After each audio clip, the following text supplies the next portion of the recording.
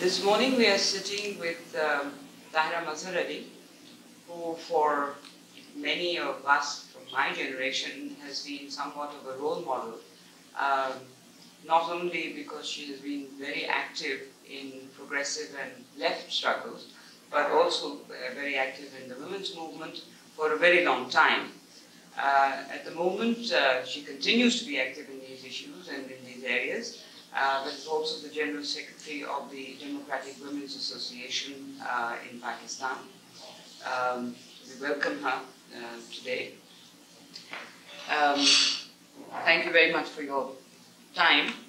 Um, we'd just like to start off a little in terms of uh, your background, because coming from the background, and I know this about you, Yes. from uh, a very feudal family, how did you, uh, you know, where were you born? What was the family like? And uh, Uh, Bunny, I was I was born. You're quite right. I was born in a in a feudal background, and uh, my father was uh, a political human being.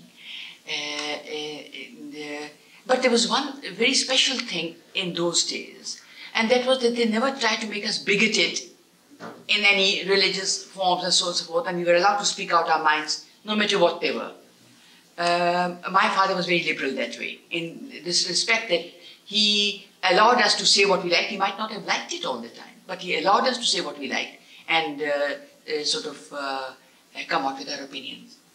Uh, first thing it happened, I think I was quite influenced by a number of girls in our school in where Queen, did you go to school? Queen Mary's.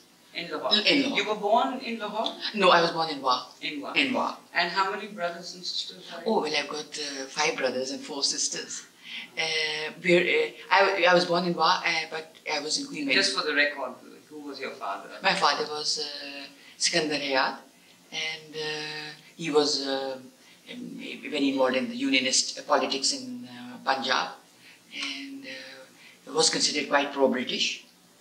Uh, but uh, now when I see, compare it with today's world, I feel that it was not very, for, I mean, in many things was much better than what's happening, to, happening, to, happening today. At that time, at the age of 13 and 14, uh, one was critical, you know, that he was, uh, So from Wah, you were born in Wah, but in the Wah family, you lived in Lahore. We lived in so Lahore. you grew up in yes, Lahore. I grew up, grew, up, grew up in Lahore, went with my father to Bombay because then he became the state governor for some time to Bombay and Calcutta. And by the time I was 11, I came back. And then I was in Queen Mary's. Now, Queen Mary's was a very sort of an imperialist school for the, uh, like Aitchison College, you know, the Maharaja's daughter. You mixed with Maharanis and so on and so forth. But there was a small element which did talk of national movements, Congress. My first uh, thing which made me political was that it was uh, Jawaharlal was in Lahore, and I, my age was then 13 and some months less than 14, let's say 13 and a half. I asked my principal whether he could come to our college, school, and see us. And she retaliated, no, it's a Parda school, you can't come. Uh, He can't come to uh, uh, Queen Mary's. I said, but Uday Shankar came a few days ago. And we performed, we swam before him. But why can't Jawaharlal come? He's one of the most uh, recognized leader of the, you know, uh, anti-imperialist uh, movement here. So I was then expelled from school. Uh, and I must tell you this thing, that at that time one could be expelled in spite of one's having, uh, uh, being, you know, belonging to the sort of elitist uh, uh, families, because my father was in the um, uh, chief minister of Punjab, but I was asked to leave school and I was expelled for six months and asked to write, I think, 1,000 times uh, that uh, I, I will not uh, disobey school rules, so, which meant nothing. But that was how it, started. And then, of course, I was very, very interested in the movement because In which movement are we in, talking? in, I'm talking of the anti-imperialist movement now. It was much easier uh, to mobilize people for anti-imperialist movement than it was to mobilize people for your own dictatorship in your own country. It was easier because then everybody was with you. People who were not fully uh, political were also, anti-imperialist to some extent. But you said 13 you started Yeah. thinking these things. What about the rest of your brothers and sisters? Were they like No, you? no, they were not like me. But it, it can happen, Bunny, as you know, that, you know, they were brought up in that atmosphere. Uh, maybe I was, you know, I had more sort of guts, guts. Where do you come in the family? What number I come uh, number, I'm uh, number five. I'm in the middle. In the middle. I'm middle. And uh, But you were very close to your father. I was very close to my father because my father, because I, at least I could discuss things with his friends even if, I, if he didn't like the things I said. And uh, uh, because my elder sisters were married and uh, uh, my uh, Joalal and all these people uh, coming to our homes and so forth. And uh, I had the privilege, let us say, to be able to meet all these people, you know, face to face and sit down and talk to them. And the excitement of meeting these great people was, uh, was immense. Uh, I remember the first time I met Jawaharlal when he came to our house. My father turned around and said, Here's a very, very great admirer of yours. And my face became absolutely beetroot red because I was. So you were involved in the national. I was uh, in- involved in the national movement. Uh, What years are these? Uh, uh, they were 41, 40, 40, 41. So the whole the Muslim thing had not registered. You had no religious upbringing. Uh, uh, Bunny, in our household, the whole atmosphere was religious. I tell you how. Because my father was a very religious man. But the religion was not overpowering. You know, it was like, for instance, in Muharram, we are not Shias, but in Muharram, no music was allowed in the house. It was automatic.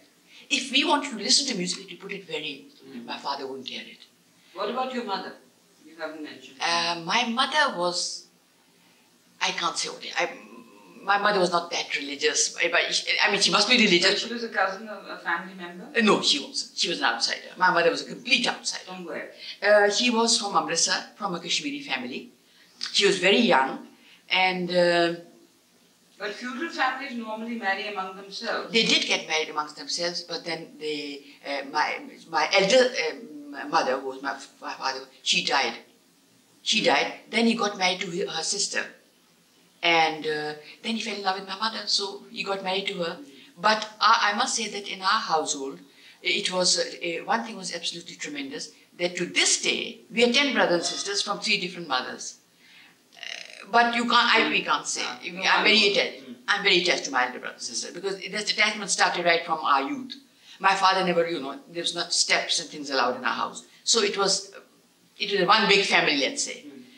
And another very good thing which has worked till now has been uh, that we were not taught ever to despise any other religion.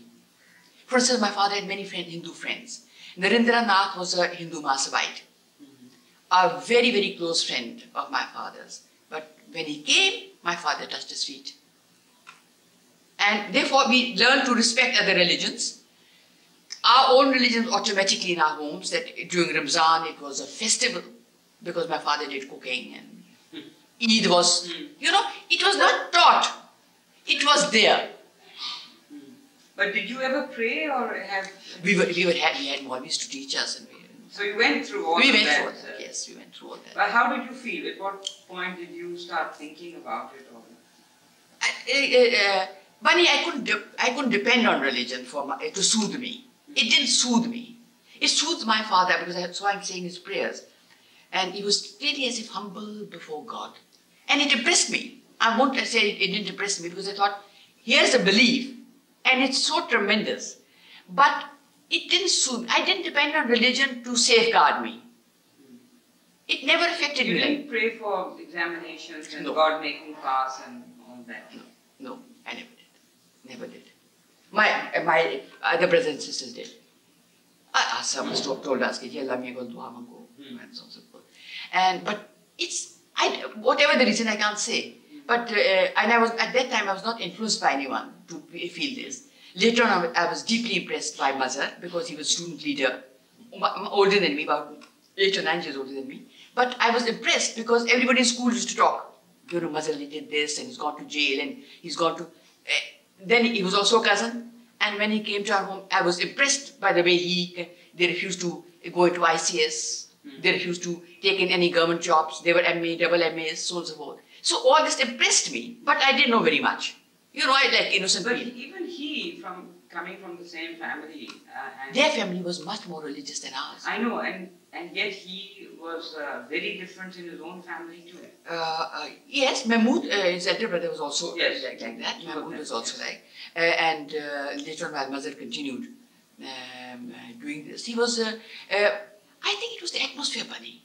There was quite a lot of atmosphere of a, a, a intellectual atmosphere amongst the progressives at, at that period, and they took pride in doing things and they pride in learning and so on and so forth.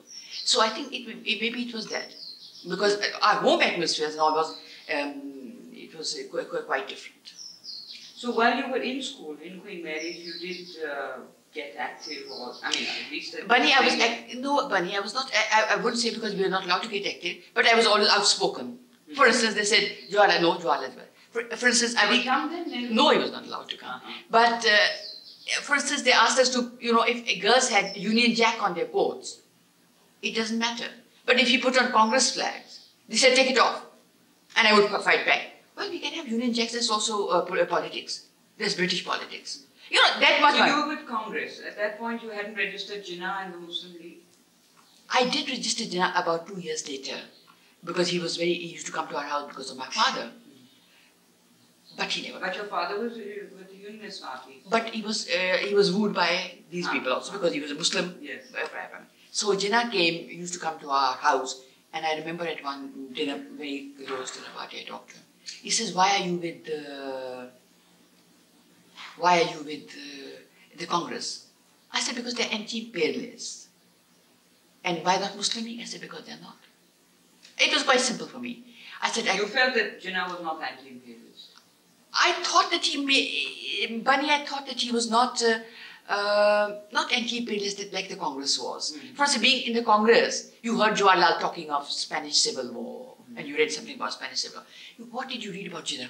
We had, I had a lot of literature on uh, Jawaharlal, and I used to correspond with him, and I got uh, many letters from him, and the books he recommended, and the books he sent me, Glimpses of World History, which I read uh, uh, uh, uh, letters to his daughter. Yes. So all that impressed me deeply. Mm. While Jinnah uh, had nothing to, uh, to impress us with.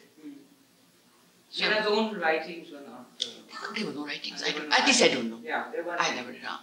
I then, and then I corresponded with uh, Sarojini Naidu, who impressed me deeply. Yes. Um, tremendous woman. I have never seen such a simple looking woman with such great personality in my entire life. In my entire life. She was noticeable anywhere. And she was a brilliant speaker and a brilliant poetess. I mean, it was not that I knew very well. Uh, I was at a meeting here in um, uh, Lahore College, which is Lahore College now. And only written to, I used to write letters to her, but I didn't know, uh, know her personally. So when she was sitting there, there were about 2,000 people, 2,000 women sitting in the hall. She says, Tahira, listen. Bunny, I can't tell you how pleased, I was about 10, about 17 or 18. I was so pleased that she'd called my name. And how did she recognize me? You know, because I just wrote, Tahira, come here. How's your father? How's your father-in-law? She was quite friendly with my father-in-law. But By she, that time, you were married. I was married, yes. What age did you get I married? I got married when I was 16 and a half. How did that happen? You married. It happened, uh, Bunny, because I don't think anybody agreed to the marriage. My father was not particularly keen that I should get You married. was you finished school by that time? I finished school. And you were in college. Uh, I was going to join college, but I hadn't joined college. And what happened? You fell in love. Yes, I, I was very fond of mother. I thought, you know, Married. Why don't you say you fell in love? Uh, Bunny, I can't say. No. I really can't say. Because I tell you why. Because now when you grow older, you feel that love is little, little different than that excitement. Hmm. You know, excitement to be uh, uh, fond of somebody, you know, who's a, a political leader and a student's leader and so on and so on. And I was so young and there were so many other girls. Hmm. So you felt like that and uh, mm, But did you have to fight for that marriage or not? Your family I had to fight. I had to fight because it must had no job. And the family is always, you know. he was a cousin, so that he was, a, was yes, all right. he was he was all right that way, but he must have a job, and uh, he was too anti-imperialist, too involved in pol- uh, left politics, and my father was too right in respect that he was a unionist, uh, and that was a slight hindrance. But eventually, it was. But Uncle Mazhar at that point was uh, studying in Lahore or what was he? uh, he He was student politics. yes, he was doing politics. He was By that time, but he was a student politics, but with the left? Or with the left, entirely with the left. He was the With the. Communist Party? Uh, no, uh, no, I there. about that part, I do not know whether he was a member of the Communist Party, but he was a leader of the students and he was the president of the All Student, India Students Federation. And uh, that's, you know, that's how the things started. And, the, and that's how political interest started and so on. And I think I was quite prepared. But you must have been already involved to that extent politically or had the same thinking that a man like him would impress you. Yes. A jobless political Yes. uh, I mean, uh, is what he was. Yes, that is what he was. And it was uh, uh, the, the, the rishtas which you know how to come, they come into feudal families. And then also not, they don't come for a particularly the girl is, they're sort of very nice or that. They also come for the families, you know, this family and that family. And uh, most of them were big landlords and very rich people and so on and so forth. And, uh, uh, but that never appealed to me that, uh, you know, there'll be cars or this, you know, it just didn't appeal to me. But it didn't occur to you that you were marrying so young and your family. I, think I, one thing, Bunny, I was sure that if I get married, I, one of the reasons for my getting married very early was also this, that I'll be able to get involved in politics at once. Mm-hmm. You know, I'll be independent. Nobody can then say anything to me, you can't go out, you can't meet this one, you can't go and meet this, peop- this person, you can't go to these meetings, and I'll be completely independent. One of the reasons was that. What was the atmosphere like? This is now in the 40s. Hmm. Uh, do you remember what, what, how old were you in the Lahore Resolution, for example? I was, uh, when it was four, uh, what year was it, 14, 13 or 14? Did it affect you? Did you think No, what this uh, about? uh, Bunny, it was like this that lots of people had come from other places to stay with us. At my house, my father's house, and we had taken other houses, people from Hyderabad, Deccan, and so on and so forth. So we was, it was, the, the excitement was there. But for me, nothing more. I went to the, eh, when the Lahore resolution was, uh, thing, I went with my father there. There was a, and you know meeting these people and so on. Just the importance of meeting these people. But that I was impressed, I don't think so. It didn't. It didn't sort of impress me deeply. But uh, discussion of partition in your house, um, your father, you, uncle, mother, etc.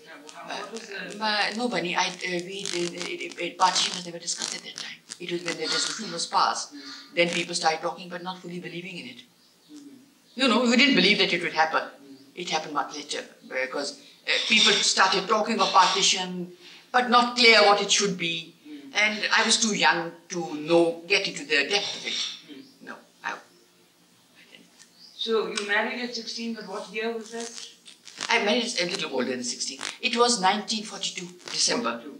Your father was then actually in Lahore. My father, it was a great tragedy because the, when I got married, the day I got married and I was leaving in Mazhar, that night my father died and the news came into the train that my father had died. So there was no honeymoon, there was no such thing by going on holiday, we came back immediately. And the same house, which was uh, sort of, you know, festive and all that, and was, became of just matam. So it was a big tragedy at that time. Three of you were married, brothers and sisters, on the same day. Two of my brothers, my brothers got married. legendary wedding. I Yes. keep hearing, children heard about it. That There was this grand wedding where Yes. three of you got married. Uh, my two brothers, elder brothers, and myself. And uh, um, it was, you know, it was a it was a big wedding and all these things coming. Not that I wasn't half interested in big weddings, but nevertheless they happened. Uh, but uh, it, it, uh, my father dying the last day became a sort of a big tragedy. I mean, I got married on the 23rd, my brother 24th, my brother, another brother on the 25th, and my father died on the 26th. So it was that. And my father was at that time 48 years old. Well, obviously, it was a heart attack, and by then He people, was chief minister. he was chief minister. So from 42 to 47, uh, what were your, were you involved, where were you living, what was happening around? It was uh, I, I was not that deeply involved in Muslim uh, uh, Muslim League politics. I was quite involved uh, with the Communist Party of India, and I did a lot of work amongst the women and uh, went into the mahallas here and uh, we had you know um, mahalla meetings, women's problems, and so on and so forth. Uh, I was involved in that, but not directly involved in Muslim League politics. Then eventually, the Communist Party of India decided But at that time, the Communist Party of India was not was against partition. Uh, no, it wasn't. The, a, a pamphlet came out uh, by Adhikari that because all the Muslims of India are demanding this, partition should be given. And I remember that the, that pamphlet was given to me to go and deliver it to Jinnah. So I was the first one to go and give it to Jinnah that this is the line of the Communist Party of India. That they agree that because they said, uh, I'm not sure, too sure, Bunny, whether I agreed, but I was too young to contradict. You know, I do not know because my heart was not there for this. For many reasons. Because what were the reasons? Many reasons. Breaking of friendships. You know, you were so used to having Hindus and Sikhs living here. You know, it was a different atmosphere. You said you won't see these people again. So it was uh, quite a. Uh, I, I didn't deeply believe in it. Let, let's say that. I didn't. Deep, I, I didn't think it would happen. But uh, uh, and then when the party decided that uh, no, we should fully support it, we were working with these Muslim League women, Begum Tasaddaq Hussain, Begum Iftikharuddin, and so on and so forth. You know, working with them, going out with them, uh, trying to mobilize people for the elections, Muslim League elections. Mm. And uh, then it became, uh, you know, sort of, I took uh, interest, but it was entirely because the Communist Party decided. So you were then, because this was a party position, uh, in favor of the yes. partition at that point. The communists supported it. Yeah. Uh, and you decided to stay in Pakistan. I, no, but this was my home.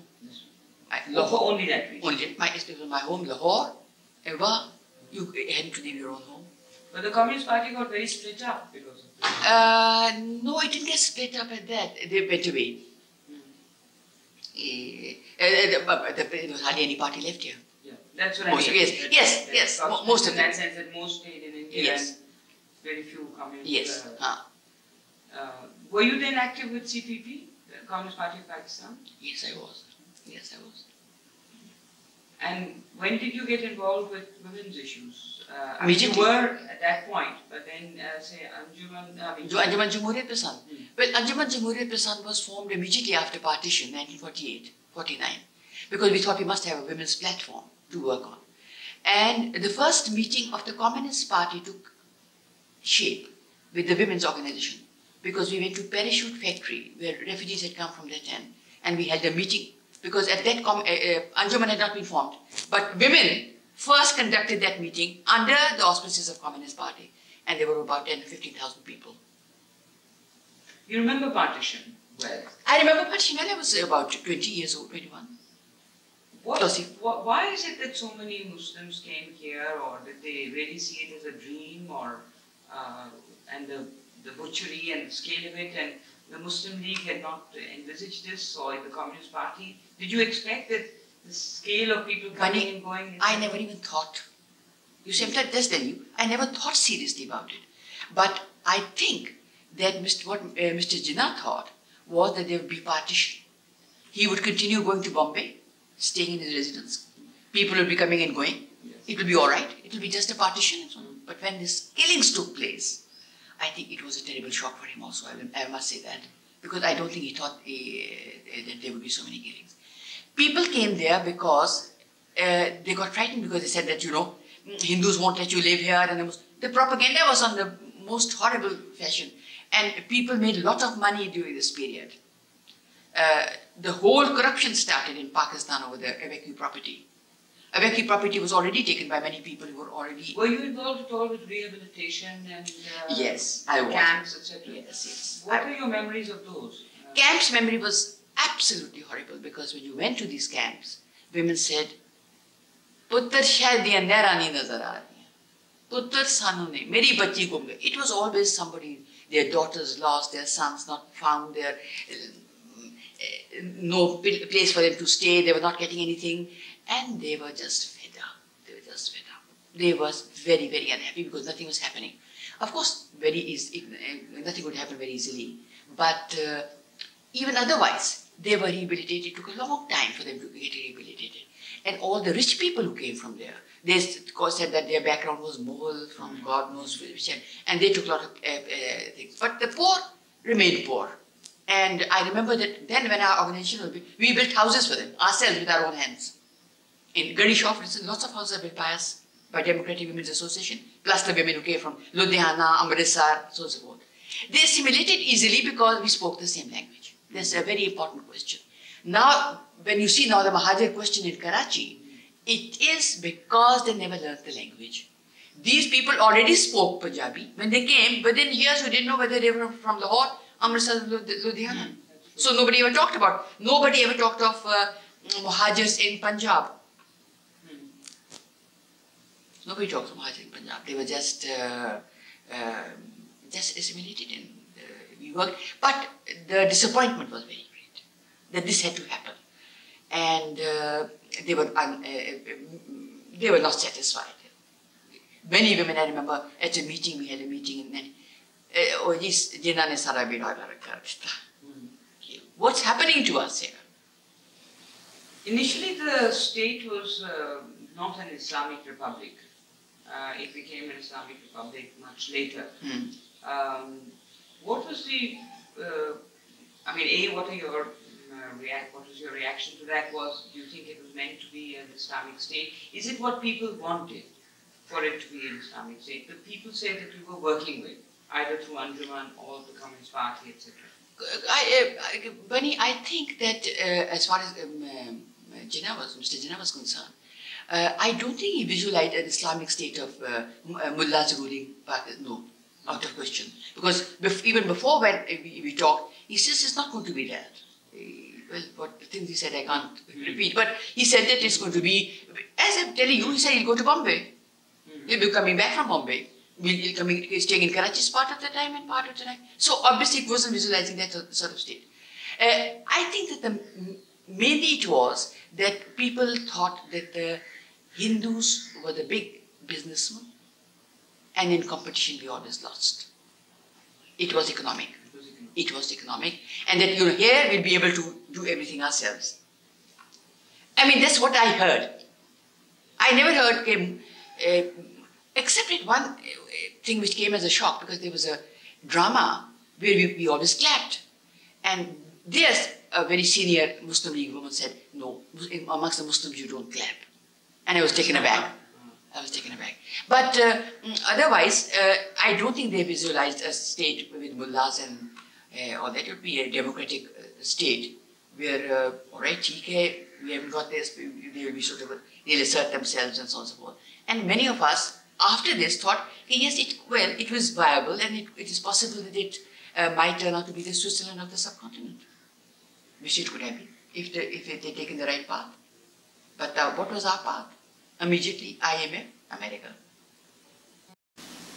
I mean, immediately, the colonialists leave us and we hand ourselves over to the new colonialists. Please take us over. It is not that they, we please take, take us over. Please look after us. Now, that was not the path which we were looking forward to. We thought if it, it's a new country, we could, you know, democratize it. There'll be less poverty. There'll be, you know, equality. We didn't think it would be communism. No, no, no no, no. But equality, people's standards would raise and so on and so forth. But then what happened was uh, sort of uh, snatching of buildings and snatching of this. I'll tell you a very interesting thing in this, that a Hindu woman left a lot of things with one of my relations in the home. He had a huge house, carpets and so on and so forth, trusting the family and so on and so forth. When she came to take them back, all the things were lying there. And this lady, who happened to be related to me, said, There's nothing here. She just kept quiet and left. So these, I'm just telling you that these horrid things happened. Horrid things happened. I mean, they trusted you that you know your family was very big. They will never, at least they'll never do it. But poor people, people who left their jewelry things with the poor people, with the tailor, tailor master, with the someone, they handed back the things. Yes, so the whole estates in the hall yeah. were just taken over that way. And people, mm-hmm. oh. So that was the thing, and that was the disappointment which you know, um, which was created amongst the masses of the people. And then it was just like musical chairs. We just went round and round the chairs, whoever could take the chair, and the next person would come. I must say the indifference started right from the beginning. Because for very few months, for very, uh, a year maybe, it started, the deterioration started, the bureaucracy started interfering. And uh, the whole setup became dirty. And people like us, who were not, I don't say that we are very great or anything like that, but people became antagonistic against them. This will, this can't work unless they change the whole uh, attitude towards, towards the state. But it was never changed, as you know, Bunny, when you started giving it. One person came and did this, and they came and passed all sorts of laws which were against this, and they, they became complete stooges of American imperialism. So much so that once I remember that an American came to us to say, asked Mazhar to withdraw an editorial from Pakistan Times. And when mother said no, he went back annoyed, sent a message that Pakistan Times was the most efficient pro-communist paper in the whole of Southeast Asia. And it must, must finish. And it was eventually finished by Ayub Khan then. So after partition, um, in terms of what Uncle Mazhar and you were doing, I mean, other than your policy, what were you doing professionally? Were you Mazhar was, Mazhar? Mazhar was first doing work in the Kisan committees. He was working in the Kisan committees in Wah, In Wah. Wah and salt mines, Mm. Fiora. And I was doing work in the women in the villages, you know, organizing them, getting them to know their own rights. So when did you have your children? Uh, Tariq was born, uh, Tariq was, uh, no, Tariq was born. Tariq was born in 1943. And So you carried, uh, I took him around? Yes, I took him around. He was wi- with me. And that was uh, a part of Tariq's education because uh, Tariq was educated like that. He went to Kisan committee co- meetings when he was about three years old. and he was four years old. He was sitting in Mirza Ibrahim at the trade union conference. And uh, he was thinking atom bomb, atom bomb when he was uh, about five. So, he, but uh, again, Bunny, in our house, in- in my own children, uh, there was no indoctrination that, you know, I have read Marxism, Leninism, this. No. It was just atmosphere. Just as there was atmosphere in our house of no religious, uh, you know, sort of suppression. It, at the same time, uh, in our house, it was never that, you know. But progressive writers' meetings were held in our house, downstairs near the garage. Democratic Women's Association was in the garage. Uh, Kisan committees were in downstairs in the garage. State union meetings were held in my house. So it was just became a part of the education for, uh, for Tariq. He grew up in that uh, atmosphere. Um, what about your own? You, you said that you did have this atmosphere of religion around you as a child, but didn't have a. When did you actually make a break or completely move away from it? I mean, uh, Uh, was there any conscious moment when you said, "I don't believe"? No. But it was like that. It was not. Uh, for instance, I think, uh, Bunny, I worked in the trade union, and by, by trade union I mean trade union wives and so on, so on, for many years. Never has anybody questioned me. Have you said your prayers? Do you say your prayers? Their questions are, what's going to happen to us? Will our children get education? Can you help us? I've sold this, I've sold that to educate my child. Will he get a job? Main questions. Will we have water here? Will it come?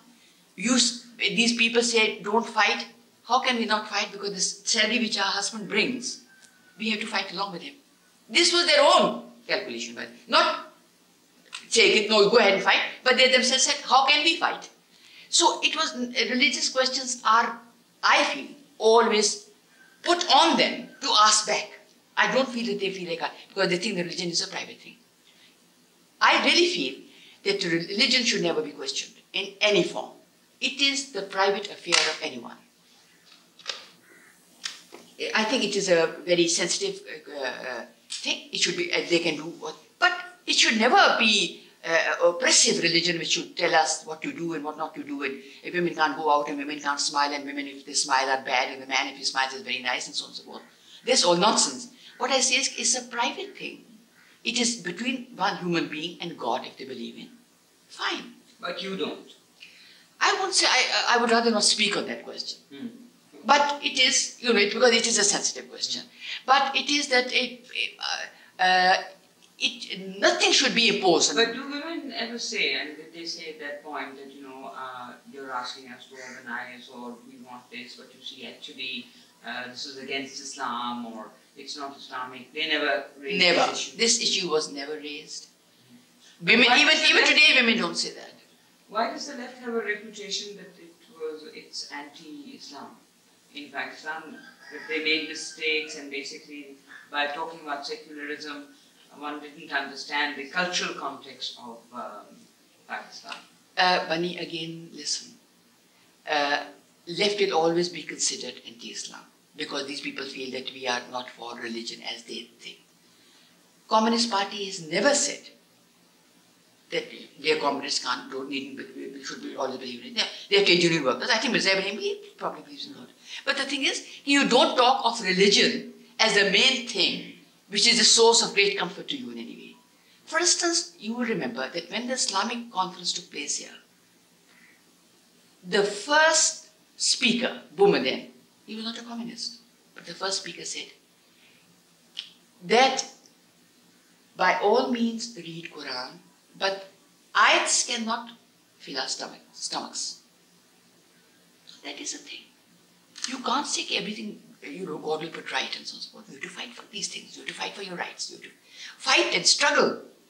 You can't say that give up struggle and all will be well. Well, we don't believe in it. No left, I think, any left, any sort of left will believe in this. But you've never found that religion was an impediment uh, to organize, etc. Do you think that, I mean, this very famous Marxist saying, Marxist, uh, I mean, Marx himself said it, religion is the opium of the masses, that it dulls, it, it makes people accept things that they wouldn't normally accept because of the afterlife or something. Uh, Bunny, I feel let me tell you frankly that in countries like ours, which are poverty stricken countries, if they didn't believe in God, I think they'd die much earlier. So they do need it. They do need it. Unless the struggle becomes so big that they realize this is, they need God. They need peace. They need pandits. They need all these people to go to. Hey, you know, will I have a child? They go to pandit. Will I, my son get a job? They go. Because what is, for the treatments they go and have this uh, mud from the because there are no doctors. Tomorrow you set up a clinic, a good hospital near six villages. I'll see how many women will go to these places. They won't. But they have nothing else. So they, you know, have faith in these people, these things, to believe in it. And the other people who dominate them and who sort of eat their labor also say, Khuda ki marzi hai. God gives you. गरीब को so religion is used to keep to keep people down and to pacify them. To pacify them, to lull them, there is there is no doubt. If the religion was dynamic, they would say, fight for your rights. After all, there are certain religions who fight for the rights. The Catholics are fighting for the rights of the in Nicaragua. They are fighting in Chile. They are Catholics. They also want to suppress the people. But they, they fight. In one side, they say there is a fighting religion, Islam. On the other side, they tell the Poor people get drowned in this love. Nothing more. Don't try. It is God's will. Everything is God's will. You see, it's God's will. You, so it is a, a, a, great contradiction where these, especially where these mullahs go and uh, uh, say, say these things. But I don't feel that the religion should be brought into politics at all. I feel it's a private matter it should be between one human being and God. But if it is used against, it is, if it is used to lull people, then do you think those who want to awakening, awaken people, have, do you think that they should they should definitely tell them that the religion which the mullahs are putting forward before you is not the religion. It is a religion to put you off to sleep. They should say it. They should, they should say it. So they should talk on it. They should talk. If, they, if it comes to that, if it comes to argue, they should talk and say, no, religion, this religion is just to keep you drowsy. In the last uh, 12 years or since 77, uh, we've had uh, the state, I mean, although we became an Islamic Republic in, 70, in 56 and increasingly, etc. Even under Bhutto, in fact, the 73 constitution has this, uh, to my mind, a problem in it. One, that it is still a, very much an Islamic republic. Mm. And secondly, that it does say that within the next 20 years, we will make all laws according to um, Sharia, which is a problem in the 73 constitution mm -hmm. which some of us at that time were also battling against. Yes, it should not be passed and etc. because this clause should not be there. Uh, you can just say Islamic Republic and forget about yes. it. Uh, but that happened, and then Bhutto also re- overreacted to the movement against him and passed some Islamic laws. He started Then passing them and made Friday the holiday and all that. But then the main thrust, the main problem came with Zia, who used Islam. The state used Islam not only to suppress uh, uh, people for whatever, to keep them down, to justify himself being in power. He changed the laws and I feel to a large extent changed society. The thinking, a psyche has been changed in 12. 12 years is a long time. The present generation of 20 and 25, half their lives have gone in this uh, type of propaganda. Uh, one question on that, uh, to, to start that, do you think that this has uh, had any impact at all on people? Uh, Islamization? Islamization. Money it has. Let me say that I think that what Zia thought, I, I feel, he thought that implement these things quickly. All the things which are, you know, which you half made up by him. and so on. Martial law Islam. Hmm. And then nobody will be able to withdraw it. Which has happened. It will become difficult to withdraw. I mean, for instance, take Bhutto Saab, having saying कि races बंद कर दो, ये कर दो, वो कर दो. ए, ए, में, ये, अ, इस, ए, जुम्मे की छुट्टी. You know, all, you could withdraw it. हालांकि people think that having Friday as a holiday, you have three holidays, Friday, Saturday, Sunday, what business do you do? Hmm. You can't You teach can't. the But world. the, once you implement these things, it's very difficult to say, कि, you know, leave it. Uh, but most of the people are feeling relief. There is no doubt in my mind. You are feeling freer. You are feeling freer for many things. That in the name of Islam, you would, I, I don't think that Benazir would uh, touch us if he demonstrated against uh, uh, some um, um, some law against the women. That we, As a matter of fact, I think we might be helping her. Yes. And uh, now, as you see today, take today's paper, I think a lot of things are going to come out of the role which mafia played in the whole thing. Mafia played a big role. And Drug mafia. Drug mafia. Hmm. It became, uh, Zia developed it into a drug mafia. Yes. And he wanted to use drug mafia for his own benefit. And it will come out that drug mafia was heavily involved in all the things which happened in your country. If But that was an extension of the military action. extension of the military action, but extension of what he calls Islam. Yes, also. you see, it is martial law Islam. As people in uh, uh, Multan said, um, uh, uh, American Islam na manzoor. Mhm. So it was like that. But the thing is, ke, Zia did the worst for his country because one whole generation has become drug addicts and illiterate. You didn't find people coming out except signing their names about religion mm-hmm. or anything. They knew nothing about anything. People were not allowed to ask questions. If you ask questions, the Jamaat the people from university turn you out. So, what did he do? He was the biggest criminal because he destroyed one whole generation. And for them to revive and to recover, I don't know. If we can help him to do that, we'll have created a great revolution. But during this time, one of the things that he used, I mean, Islamization, in fact, he didn't even bother about Islam in many areas. Uh, he came down from his first speech very hard on women. It was easier to lock up Ah. women, easier to pass a Hudood ordinance, easier to do this. Uh, much more difficult to put, uh, to stop interest and whatever. Otherwise, we could never have taken a loan from the IMF. Hmm. That he Ah, couldn't ah, do anything about. Yeah, yes. Other basic tenets Yes. of Islam he didn't bother about. He came down hard on women, and women's, although the women's movement is very old in the subcontinent, but it took a different turn and became much more uh, Militant. militant and open and widespread. Yes. The women's issue in during this time. It mobilized a lot of women. And uh, many groups got Many mobilized. groups, yes. Uh, one, just generally, how do you feel about that movement? And then there has been also some debate during this time among the groups. So one would like to talk a little about different positions that the groups took, even though at one level there was an alliance. Uh, so what do you think, uh, what are your own impressions of the movement of these 11 years? And then more specifically, one will talk about the debates. I think, Mani, that these 12 years for women have been very important. in respect that in one way, Zia gave us the strength to mobilize ourselves. so, because it was everybody went Zia, what he was doing.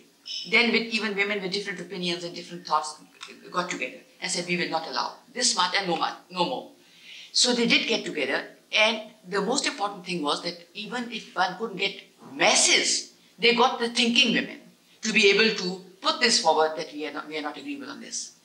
And that they conveyed this in many ways abroad, where our propaganda could be published, where people here were reluctant to publish. So we uh, became an important factor, so much so that when Zia went to America, first question which was asked was, you know, what about women? Mm -hmm. So it was that that was a big role which the women did play.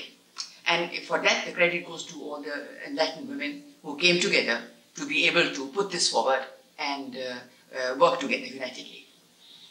Now, the differences arose when organizations like us were together with WAF and all that, was that we thought that uh, this is a political struggle. That unless we also scream against the authority, martial law, we will we cannot achieve this because it's a joint struggle of men and women together jointly. And that we should persuade men to come and go with us march with us and say yes these are women's rights. And that becomes a political thing. Some women's women thought that this was not right that if we bring this we will not be able to do this much and therefore we should leave it at only women's you know women doing their thing now i don't think that uh, we, I didn't uh, personally agree. I thought it, it, was a political struggle and it should be made political, and eventually it did become political. But I don't know, maybe they were right to this extent that uh, uh they thought it should be left at women's, uh, on women's level because they thought maybe martial law clamps on us and we won't be able to do anything more. Because they, women were the first to come out, ah, which is very important. Yes, and they thought that this. But I must say, the women showed great bravery during Bhutto's, uh, when Bhutto was sentenced to death. Now, those people, now, a Pakistan People's Party was not organized party. Yes. But who came out? No man came out. No footsteps were heard. Only the footsteps of women. 40 women, 50 women, 100 women, they gathered everywhere, mm. protested. They had the guts to do it. They were not organized by us, you know, by the, but they were there. And eventually they came with us also for this uh, struggle. But then the women, uh, Bhutto's regime did give women this confidence that you have the right to speak and come out.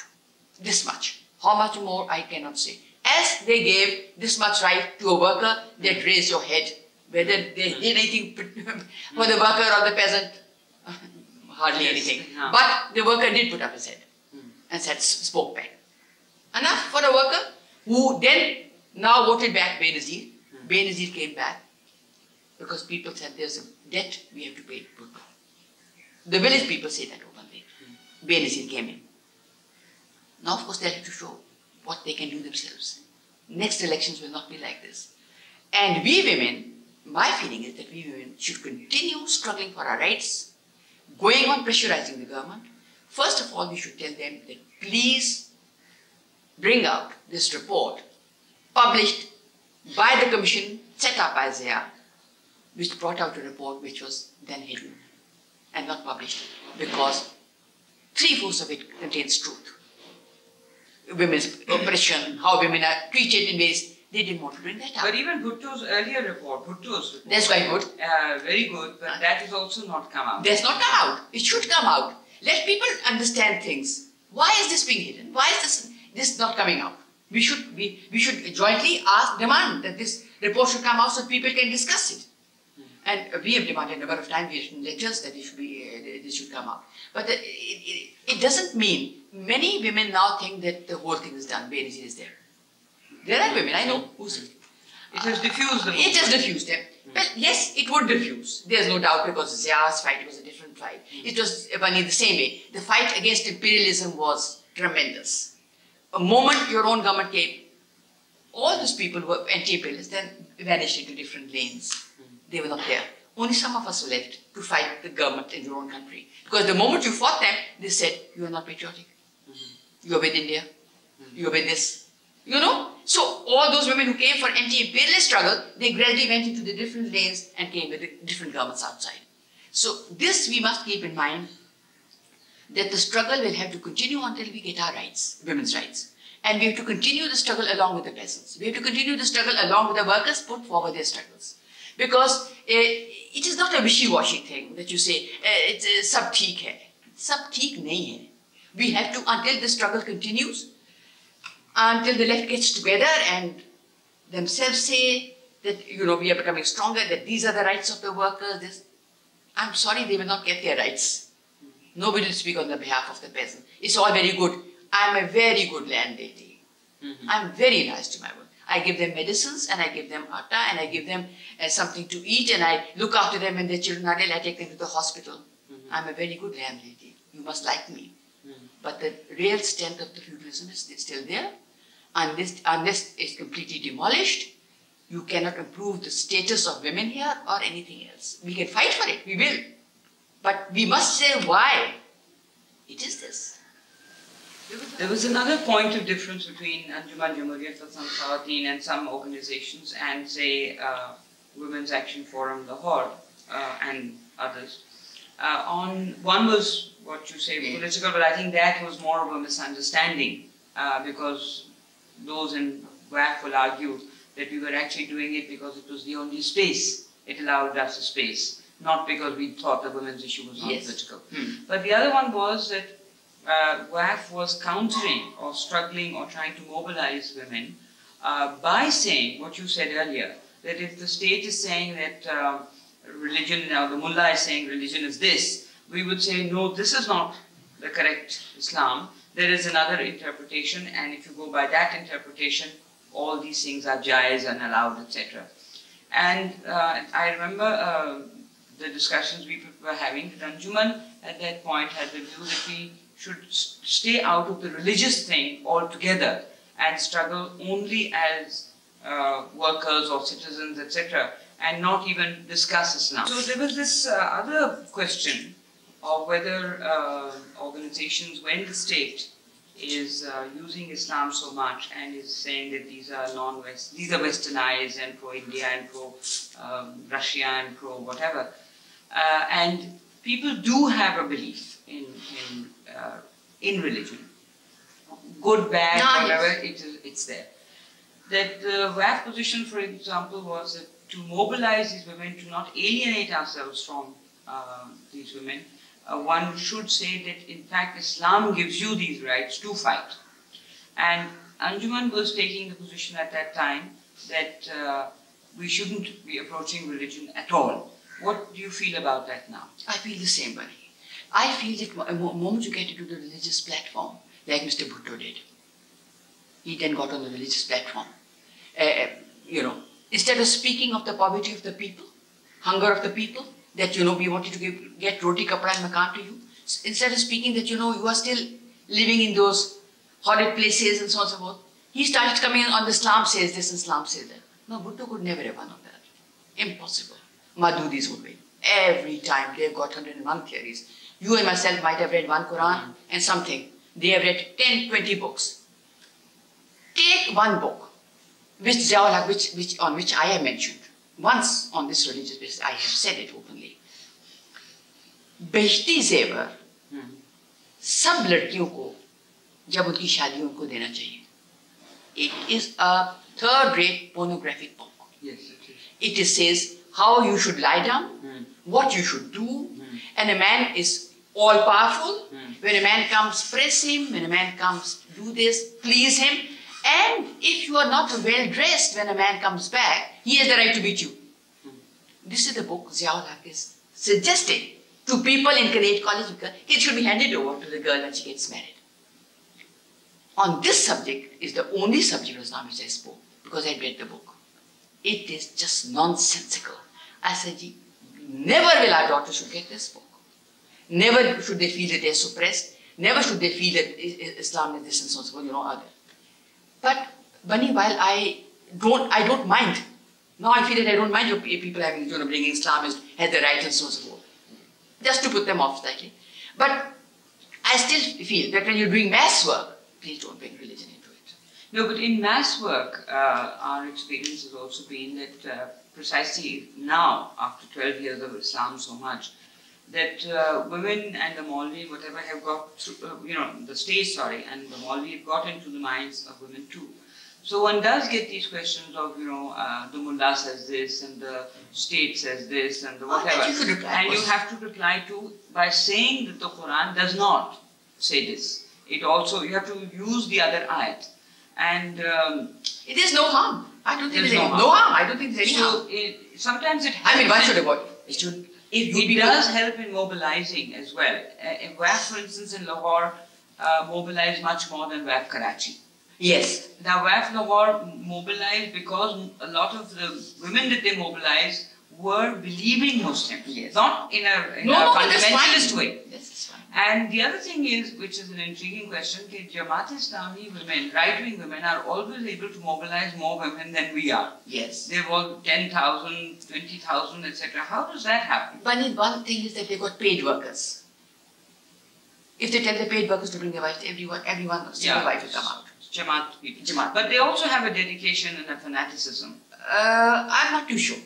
I'm not too sure because if you discuss this matter with some of your very close friends, they'll tell you how they came to them and said, "जो आप इमा- जमा- आप अ, जमात इस्लामी में है तुम्हें पता है what I mean and so on and so forth. How was that particular person uh, जमातियत studied abroad ये वो फिर यहाँ बात है कोई बात ऐसी बात नहीं है so it is just it's just political but they are political failures you see they might be able to organize Bunny you give me please five lakhs a month Hmm? and I have paid workers everywhere. They'll also work for me. They'll be dedicated. They also believe in what I say. And they will be able to bring out women. Paid workers. Two, if they had such big backing, why don't they win seats in the assemblies? People just ignore them. Twelve years of propaganda on your television has been just mullahs. The result is Benazir. But even Benazir could not say that she was not a Muslim. She will never say that she No. is a Muslim. Yeah. She's No. not only a Muslim, she But believes in lots of peace and uh, Yes, these but she also used, meaning she talked a lot about Islam and, you know, every that I say my namaz and I'm fasting and all this business. Because she, no party today can stand and win an election saying we are a secular state or we want secularism, etc. Benazir said one or two nice things, uh, uh, uh, Bunny. First, they asked her, what is your feeling on religion? She said religion should be, a, I feel that religion should be a private matter. Um, how would the oppression of women go? Because normally the thing has been that the women mobilized as a part of the Communist Party. But we have seen that in, in the countries that have communism, in fact, now there's even a drive for uh, autonomous or independent women's struggles, that just being a women's wing has not, in fact, mobilized women. What is your present position, or I- how do you feel about I that? think, I think that the uh, separate women's wing should not be there at all. I feel that it should be a part of the whole struggle, and then women should continue demanding things for themselves and you know their rights. And. But it will be the last thing, Bunny. It will not be easy to break those thousands of years bonds of saying that. For instance, in Soviet Union, even today women complain that we, when we come back, it's uh, we have to cook. Why? It's, it's a small thing, and they've been uh, 70 years now. It is, it is a, when these long term things have been happening and your mind is with that, it takes time to break with those things and then they automatically will, I feel, will break those ties. When you, your economic standards go on coming up, you feel that a woman, now for to take a woman in our country today. 20 years ago, if I went to a house, I'm just giving you an example, and you met a, a mother and her daughter was working, she would say, ਜੀ ਇਹ ਮੈਂ ਆਪਣੀ ਮਰਜ਼ੀ ਨਾਲ ਕਰ I ਹੈ ਮੈਂ ਮੇਰੀ ਮਰਜ਼ੀ not that she's working, that was a crime. Then, because she had nothing to do, she was waiting at, you go now. same women ask them your daughter she's gone to work uh, you telephone department is company uh, with a completely different tone and so on and so forth it is because it's become necessity no when the boy goes to ask for a girl's hand is she working Previous, previously it was she's not working तो ये तो हमारी जिंदगी में हुआ है ना I mean we've seen this with our own um, if, if the girl ये कुड़ी काम तो कर दी इसको बड़ा अच्छा है but the main criticism women's groups get from left parties is that by having autonomous uh, women's groups, uh, or women's organizations, uh, it is um, diffusing the left struggle and negating the left struggle, and that once the revolution comes, everything will be all right, No. and this is a struggle that will come. This is what the left. Yes, but it's wrong. I, I feel It is their that you, you have the right, women have the right to, you know, whatever they think is suppressing them, they have the right to go on. But at the same time, Bunny, they must cooperate with that because they feel that is the, those are the parties who are really going to liberate them and no other party. No, cooperation is one thing, but the There's no left harm. says that you should not because you deflect from, uh, you shouldn't bring up women's issues because women's issues come into the home and cause problems even within the home. Hmm. And they say that you are deflecting from this and that actually once we've got rid of private property, once we've taken over state power, the issue it will just be social remnants and it will finish anyway. This is the, the It is- classic left It is a classic left position, Ah. but it is not a right position. It may be the classic right. So Because- even in the movement of the revolution, you feel the women and men must keep changing their attitude to women. It in the is a- process of struggle. Yes, it has to go on even after the revolution. It must go on even after the revolution. You have to go on telling them that they are the demands because, Bunny, this. As an independent women's organization, it should continue after the revolution. Yes, why not? Because then the st- our joint struggle is there. We have brought about the revolution. You have brought. You are also a party to it. We are also a party. to it. You brought. it. But then, it, as a matter of fact, then it is more important. Just now, when people said that, I know how they said that. They said that because during the anti-Zia's thing, people want you to get out for Zia's crimes together. But it's not just uh, the Zia, say even the debates uh, uh, between Lenin and Krupskaya and Lenin and the others at that time, the Rosa women Luxemburg and all these people, yes. They kept saying to Lenin at that point that we have to keep organizing women through the struggle and post the struggle. And Lenin, actually these leftists only pick up these sentences from. Lenin. So they are picking up what was also Lenin's position. Bunny, now Alpansi is now 70 years of revolution in Soviet Union. The, uh, at the time when some friends used to criticize Lenin or Stalin, what did we do? We immediately cut them off. No. But as it happened, they were right. Bureaucracy, right. Everybody saw. Look at the miners today in Soviet Union. They're saying they're against the bureaucrats. And it's a worker state. So the thing is that you, I think women, because they are the most suppressed, they will have to continue their fight until they get their rights. Now, I have seen in Soviet Union, for instance, women at very high positions, higher than their husbands. And it still creates, to some extent, resentment from the men. Because if I, a man goes from the office to say, I want to meet uh, Anna Karenina, say, the husband is there, he's not, mm, and Anna Karenina, she's a main, main person. There is resentment. Therefore, there are more, there are divorces, quite a lot of divorces in Soviet Union. Because this is a question I asked. The most intelligent women I met in Soviet Union, some of them are divorced. And I said, why? Why are there so many divorces? So, then I put this forward to them. I said, is it because you are more important and you have got better pays and you are on top? They said, yes, maybe that is one of the things. The men couldn't take it. Men couldn't take. it. Even now to this day, after 17 years of revolution, they still cannot take that fully. So there will be a struggle, there will be a continuous struggle against all this and for the rights of the women and to bring them forward as we think is best, even if there is a revolution. That's, But, that's my reading. but even the, the Soviet state has not helped. I mean, they've helped. It has helped. I mean, I'm not saying at all that the Soviet women have not made tremendous strides in 70 years. But the Soviet state also has been passing laws that reinforce a type of, uh, or even making statements. Like one was very upset with Gorbachev's statement saying that women are important as wives and uh, daughters and whatever, because actually um, women are important as people. People.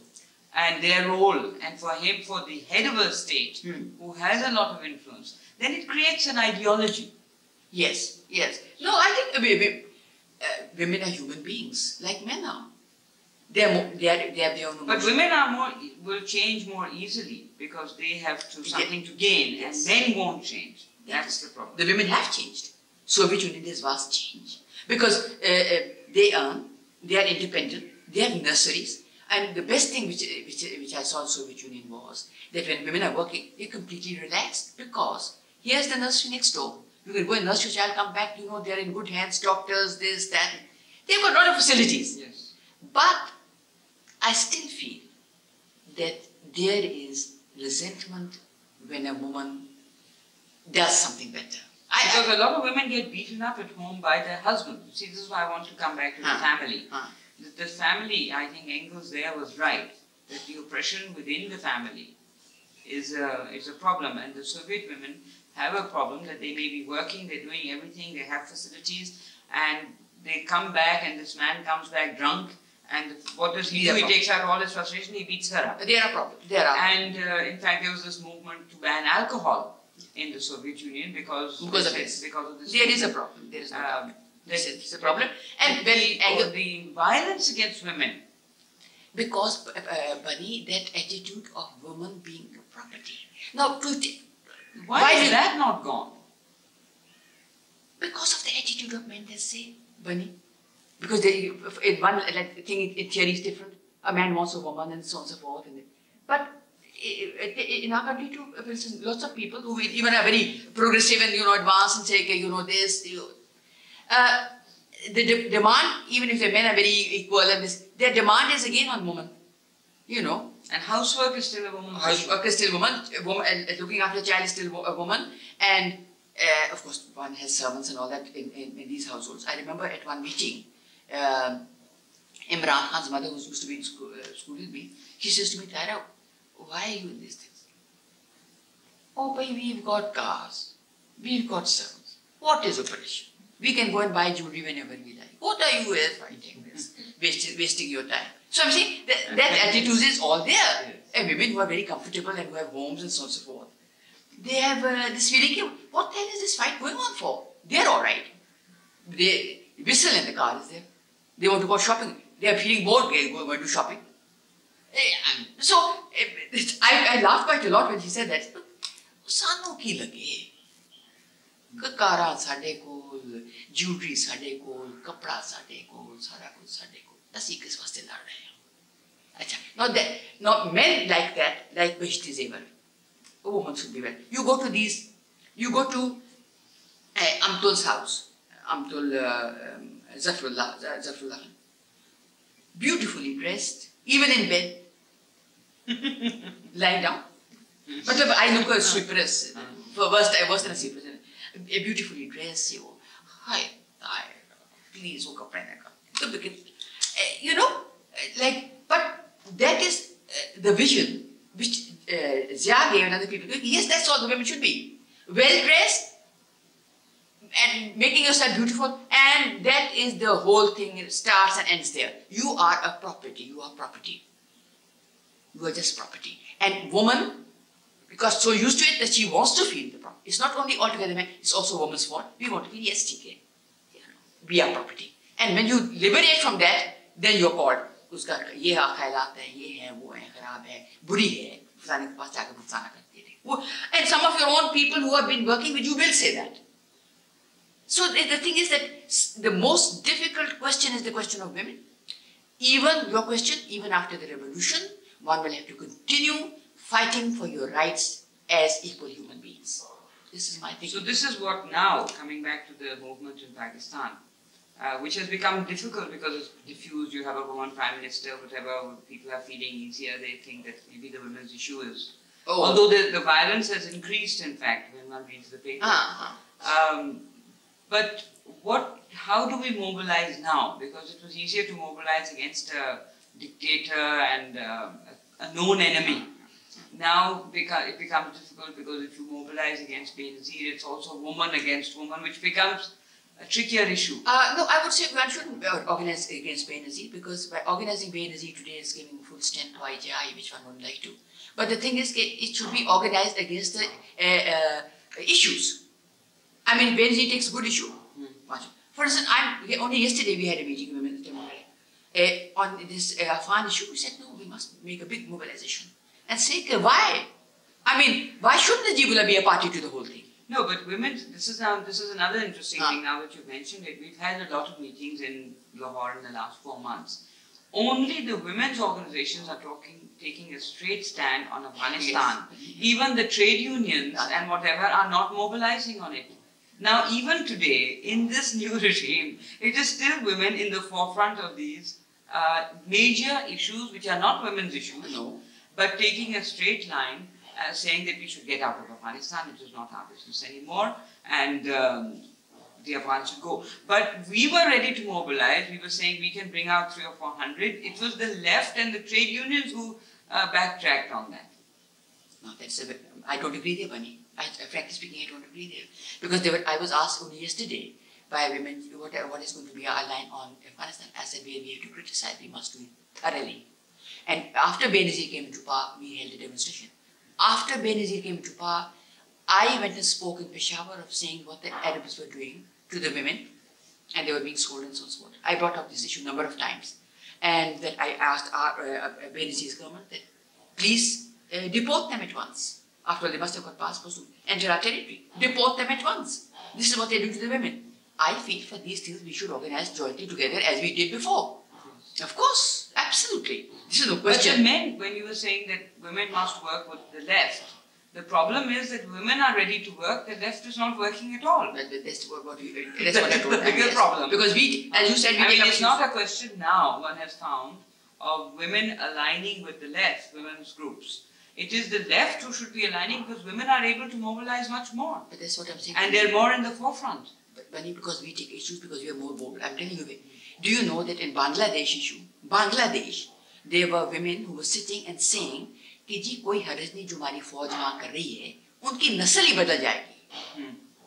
and they were all the people you know Bunny and Yes. people I know they were saying that very openly Eh, when we women demonstrated against that we were arrested by Yahya Khan and how many women were there six in the whole of Lahore But I remember when we went to Beadon Road, I went with You went me. But- Yes, but, again, it was only the women in 71. We Only couldn't the get- women. we couldn't get other people We out. won't get other people. But that's what I'm saying, Bunny, because the left is not mobilized. It's not. It's not uh, a, an organized thing. If if the left was organized, the things would be different. So But then how can we say that we should work with them? They are not working. But we should persuade them to work with us. Uh, we should persuade them to work with us, but they're, but they're not. They're not working. They're not right, quite right. And this Afghan issue, uh, there were women, six women standing on the mall. And no, we had a petition campaign, as you know. Uh, all the signatures, we got several hundred signatures. For? They're all women against the Afghan I policy. just, I know. No, The men wouldn't sign. I mean, they didn't get them signed. because I think they're also afraid that uh, People's Party must be now afraid also because of you know their uh, policy being the same, uh, uh, and uh, they don't want to touch this IJI as well as them. Hmm. And uh, the only people are left are ourselves. Hmm. And we are going to, I mean, I sent telegrams to Benazir on this issue. So did we. Uh, we sent telegrams, for God's sake, what is happening there? But, and I got, you got the letter, signed that also. We should continue. ये कह देना कि जी जहाँ चला गया दफा हो गया आया जहाँ आया बस घर में जाओ this all wrong this all on every issue which concerns us and I think Afghanistan concerns us very much uh, because our, our children have become drug addicts on that whole thing and lots of other things uh, we should uh, we should take a stand if anybody wants to come they are most welcome if they don't want to come we will still continue all right but we have, we have done that before we'll continue doing that we, it doesn't matter and there's no question of saying कि आप ऐसे इस वक्त ये बात ना करना ये उसके खिलाफ जाएगी नहीं in these issues big issues we must and this goes against both IJI is more of a hmm, brother-in-law son-in-law of the mm-hmm. Mujahideens than they are so eh, the question doesn't arise so we must you know put up but yes Mujahideen the, the, the war must stop we are against this war and what is happening, we are against that. And so we do not, we even wrote to this that we do not agree with this interim government which is being formed by ISI. It was. Mm-hmm. You are interfering. Yes. We also took the stand Yes. that you cannot interfere No. in another state. I mean, Mujib has shown, Najib has showed you in Jalalabad that well, he is organized. Women are on the forefront fighting there. They have invited us ten times to come and see, to see them fighting there. They have invited us to come to the uh, to Kabul, which we might be going. But the thing is, women are fighting. Why are they fighting if they, they have not got anything? Obviously, they must have gained something that they're fighting. Why are they women fighting? They're running back. Even the Mujahideens are running back. They say, we don't want to fight and kill each other. They're destroying their own cities for nothing. Because the uh, Mr. Tomsen, who has come, wants to do it. The, if the left had a little bit of guts, if they had the courage of their convictions, they wouldn't have allowed Tomsen to put his, put his foot down on Pakistan. But what can we do? Only women will go. I mean, why should he be there? Why, why is he using our territory to do all this, uh, this dirty job? You see, Bunny, the thing But why are we lending ourselves? why are we lending ourselves for it? We should be there protesting. Any damn general comes from uh, uh, America, we should be protesting even if we are 10. But you'd be surprised, people are not prepared. to come. It was very difficult to take people, first of all, to USIS. And we did it. We said, if you want to come, you can come, otherwise we are going. Then about 15, 20 people came marching along. So it is that I don't know what their beliefs are, that they are they strong enough for them to be able to put up a fight. If they can take out the, I mean, in their meetings they say, "क्या अफगान इनको निकालो ये वो." Specific thing. And now, s- supposing it, if Tomsen had come to Islamabad and we were 15, not more, 15, international press would have taken it. They go, they go with two people. They there was protest when Tomsen arrived. Now that would have gone in our favor. Even if we didn't achieve anything in our country, we'd have achieved uh, propaganda value outside. So these things happen, and they, we have to, as you said, women take the line. We have we have done so before, and we do it. And uh, this um, East Pakistan thing, we were all these men. Mhm. After all, they all believe we were, we, we were women, six, seven women, saying no, if army takes action, that will be the end of Pakistan, and nobody else was coming with us. So it is also political thinking and political reading and so on and so. And I, I think that the, our left here is to do a lot of more political reading. It's just confused reading.